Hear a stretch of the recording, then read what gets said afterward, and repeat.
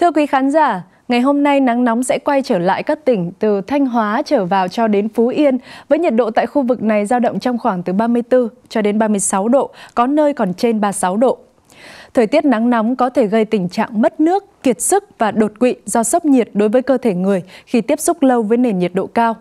Vì vậy, mọi người nên hạn chế ra đường, đặc biệt là trong khoảng thời gian từ 10 giờ đến 16 giờ. Nếu bắt buộc phải ra ngoài thì cần trang bị quần áo chống nắng, đeo kính, đội mũ cũng như bổ sung nước thường xuyên để bảo vệ sức khỏe. Với khu vực Nam Bộ, gió mùa Tây Nam hoạt động suy yếu nên mưa rông sẽ giảm dần tại khu vực này và xảy ra chủ yếu vào chiều tối. Nhiệt độ ngày tại các tỉnh Nam Bộ tăng nhẹ lên ngưỡng từ 30 cho đến 33 độ. Trong khi đó, do ảnh hưởng của hoàn lưu bão số 1 đến thời tiết các tỉnh phía Đông Bắc Bộ là không mạnh nên mưa rông chỉ xuất hiện rải rác tại một số nơi như là Lạng Sơn, Quảng Ninh, Hải Phòng. Còn các nơi khác, trời vẫn có nắng với nhiệt độ sẽ dao động ở ngưỡng từ 32 cho đến 35 độ. Chuyển sang những thông tin thời tiết biển, Quần đảo Hoàng Sa và quần đảo Trường Sa có mưa rông một vài nơi. Tại Hoàng Sa, gió giảm dần xuống mức cấp 5, còn tại Trường Sa, gió Tây Nam chỉ mạnh cấp 3, cấp 4, tình trạng biển bình thường.